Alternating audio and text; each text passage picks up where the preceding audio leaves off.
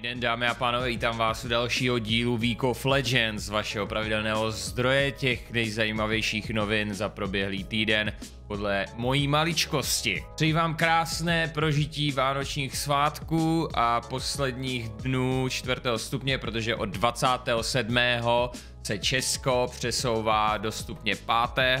To znamená zákaz vycházení od 9 večer do 5 ráno, takže žádný chlastačky a taky žádné malé obchody otevřené pouze jenom ty důležité, takže budou opět nasraní lidé v ulicích, i když oni tam byli už předtím. Například hoteliéři ze Špindlerova mlína dorazili do Prahy jednak s tímhle nákladákem, kde měli oběšence, teda aspoň figury oběšenců s nápisem měl jsem hospodu a ještě tam přijeli normálně ve sněžnej rollback, ty vole nemůžou ti dát botičku policajti, když jezdíš po pásech, ha? Takže jezdili po celý Praze a vláda jim vyhověla. Nelíbilo se jim, že jsou zavřeny jenom restaurace, že je to zaměřený jenom na gastrobiznis, tak zavřeli všechno. Ale tyto lidi chápu, pro ně jde vlastně o celý biznis, o živobytí, to je jako kdybych já dostal permaban na, na Twitch a YouTube, možná Instagram.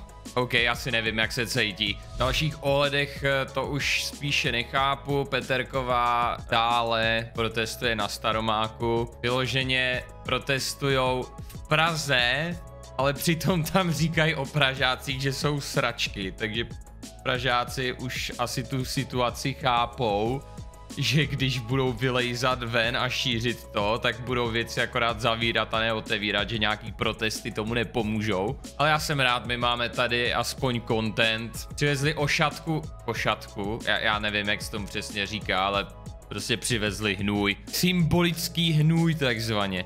Symbol toho, že aby byl hnůj, je potřeba plný žlab, ale pro všechny. Takže žij a nech žít jsme sem přišli říct a hledejme důstojná řešení, která umožní, aby opravdu naše zem fungovala, kterou reprezentuje současně můj kijovský kroj. Zavířovat dneska tady Brňáci, protože Pražáci jsou sračky. Kdyby tady byli dneska Pražáci aspoň polovina, tak se sem nevejdem. A oni si myslí, že těch pár šupů, který dostávají od vlády, takže je budou mít na věky. Všichni budou rejt tou držkou v tom bahně. Teď se jim zase nelíbí vakcíny. Na Slovensku Borec zajebal tady tuhle hlášku. COVID-19 je tak strašně zákeřná nemoc, která právě je časově rozdělená, územně rozdělená a hlavně je tam strašně divná ta zkratka, jo? Je to Certificate of Vaccination ID a jednička a devítka, to je první a devátý písmeno abecedy a to značí umělá inteligence, anglicky, jo? Takže ty, co to přežijou, tak potom budou mít ten čip a budou mít tam sekvenci RNA, která trošku bude měnit tu boží DNA, kterou máme. Bill Gates asi nesnáší boha, ty vado.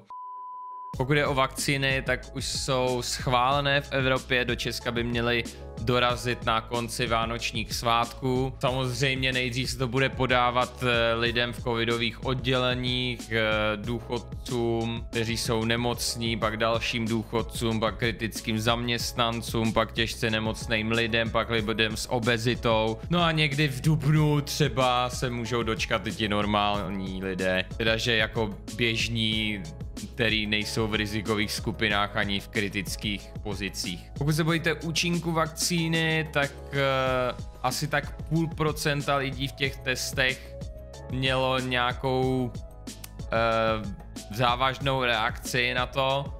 To je každý dvoustej. Samozřejmě 0,4% měl nějakou závažnou reakci, i když jim bylo podáno placebo, takže asi to bude o vaší psychice. Pokud se toho bojíte, tak si tu reakci možná vaše tělo vymyslí samo. Co se týče rizik pro těhotné ženy nebo mladší 15 let, tak je to čistě jenom o tom, že není uh, dost informací o tom. Uh, testy nebyly prováděny na dětech, takže těm se to zatím podávat nebude. Je to na vás názory u těch vakcín, podle třeba i dnesu jsou takový půl na půl. U nás v Česku to bude dobrovolný a zadarmo. V Polsku to s tou vakcínou možná budou vnímat trošičku jinak, protože tam to zdravotnictví měli dlouhodobě fakt zanedbávaný a teď za to platí. Tady na novinkách píšou, že za listopad umřel rekordní počet divák... Div... Diváků. Tak kdybych mluvil o svým streamu, ty vole. Uh, rekordní počet Poláků za 100 let, tak to nevím, jestli počítali holo. Ale v Polsku fakt uh, tam s tím covidem je to špatný, tam, tam lidi se ani už pomalu neobtěžují jet do těch nemocnic. Zdravotnictví jim tam skolabovalo. Podobně špatná situace je v Anglii, tam jim premiér vyloženě zakázal návštěvy o Vánocích, nemůžete se setkávat ani s rodinou v některých regionech. A k tomu se tam objevila nějaká odnož COVID-19, která je prej o 70% víc nakažlivá. Kvůli tomu všechny státy Evropské unie zakázaly lety z Anglie. Já jsem si objednával přes eBay větráček do notebooku a Borec mi dneska napsal, že bohužel jako nemůže, že všechny lety jsou pozastaveny, žádný trafik prostě z Velké Británie neodejde. Lidi už tam stojí fronty, protože se zase bojí, že budou muset mít zásoby. Jak v Anglii ještě Tom Cruise natáčí Mission Impossible 7. Asi je hodně vystresovaný z toho, v jakým stavu je teďka filmový business, protože lidi se musí samozřejmě sejít, aby točili filmy a když už někdo dostane výjimku, tak prostě chce vidět, že to lidi dodržou. A právě Tom byl zachycený, jak načapal dva stážisty u počítače vedle sebe, asi úplně nedodržovali ty opatření, kým tam dal normálně sadu.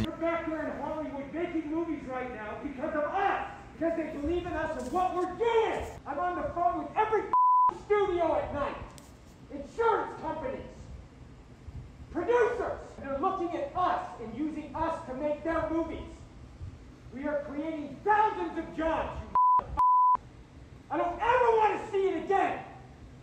Ever. Don't do it, you're fired. And I see you do it again, you're gone.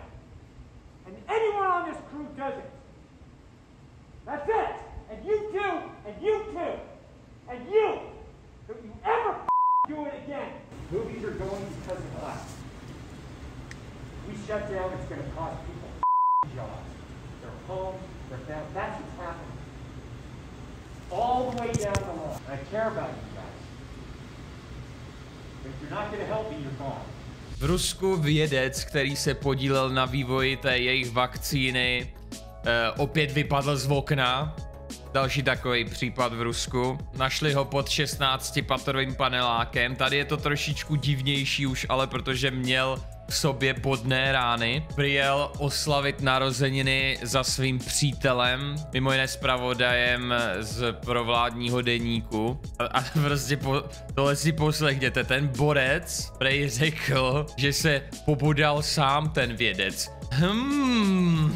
To víte, já jsem nevinej, on na ten nůž upadl sám třikrát a poté sám vyskočil z okna. Ano, ano, zprávě jen o covidu. Ale já za to nemůžu, že to je jediná věc, co lidi dneska zajímá. Ale mám tady pro vás jiný scénář, ta vláda robotu, dívejte se, ten bez, kterýho jsme viděli z těch Boston Dynamics videí, jak jsme si furt říkali, ty vole, to je fakt funkční robot, tak pomalu už jde koupit na Alze, dívej, tady mají vlastního. Nyní nějaké ty herní novinky. Riot Games oznámili, že pracují na masivním projektu. Je to masivní doslova, protože se jedná o multiplayerový masivní online titul. Ano, LoLko bude mít své vlastní Vovko. Eh, MMORPGčko. Ale vzhledem k tomu, že ten projekt se teprve odstartoval a jak dlouho trvá vývoj MMORPGček, tak nevím, kdy se toho dožijeme. Celý herní svět dále řeší problémy se Cyberpunkem. CD Projekt Red si nasypal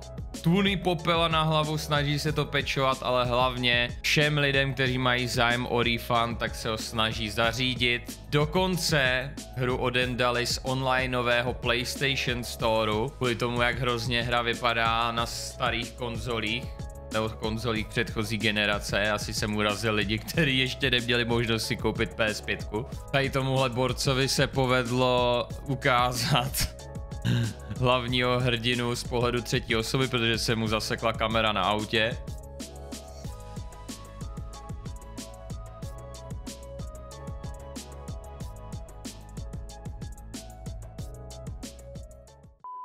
No a další bugy uvidíte ve vole, protože opět se toho spoustu k nám dostalo, už jsem to musel i trošičku profiltrovávat, protože když projdete jako NPCčka, který tý pouzuje, tak to je běžný den v Cyberpunku. A já jsem si uřízl obě ruce, výborně. Hele, Blektore, pojď to tam. Little uh, abandoned bungalow lakeside. Meet me there at sundown.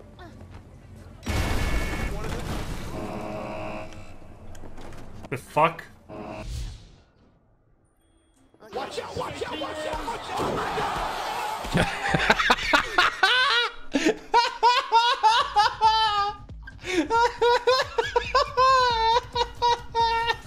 Aby to nebylo tak suspicious, tak třeba tohle týpka zabiju o zeď.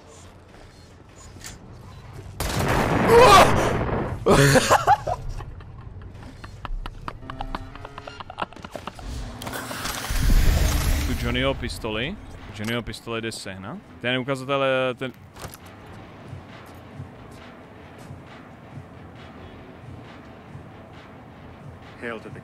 Já si říkám, kde leží ta zbraň. Tak, takhle. A chci zkusit udělat tohle. Je takhle. Otočím se. A jsou pryč. Houdini.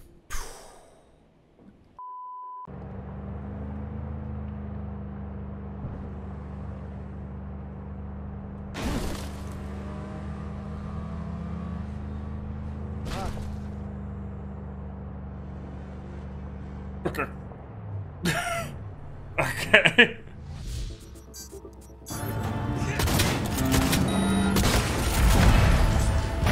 Artuši, děkuju za to byt. No tak to se stát tady jenom je! On mě normálně zajebal cestu! Cože, hochu? Čes. Dej mezerník, zmačkej mezerník. Ano. Dík.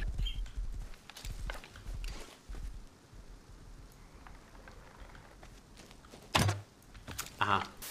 Děkujem za pětistovku. Hm? Vajo, děkujem za 500 korun. Uh, drobný Kámo, feedback děláš si... Co? What? Co tam přišlo? Chlapci, ne, to, máme to hotové, my to máme hotový. Scrollni, my to máme dán, chlapci. What? Hej, bacha. Je to tam! Je to tam!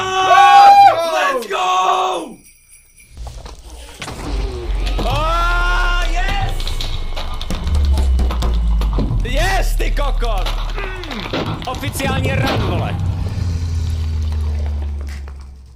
First ever. První rozhled na chat. První panoramata. No ty nebyly zas, to nebyl zas tak, to není moc dobrý výhled. Když v téhle lokali...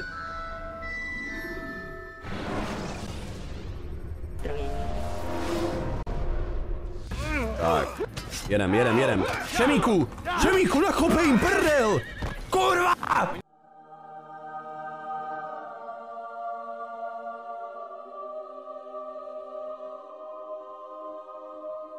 Dobrý, už klesáme, už klesáme. už zase, už, už klesáme. Dobrý, dobrý, za chvilku jsme na zemi. Dobrý, už jsme skoro tam. Dobré, dobré, jsem zpátky. Dobré, dobré, dobré, dobré.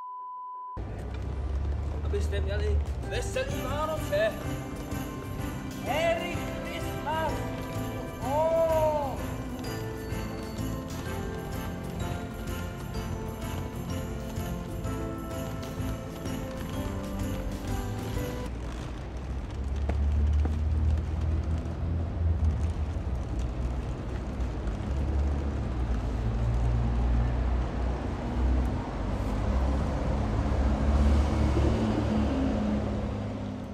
Dobrá práce, podařilo se vám zabít dalších plus minus 10 minut u mého videa. Doufám, že to bylo k nějakému prospěchu a děkuji vám moc. Děkuji i hlavně svým podpůrcům, abych si mohl prostě zanádávat.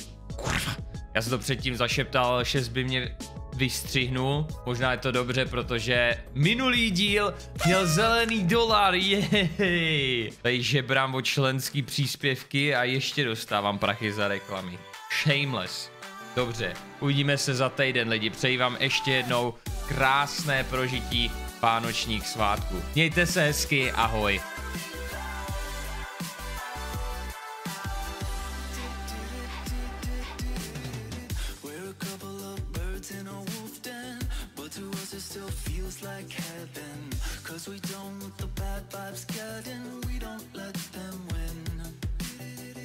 Testify to the strength of a true bomb, flying high over the heads of a rude mob. Staying at the revolution of the whole clock, killing all with love.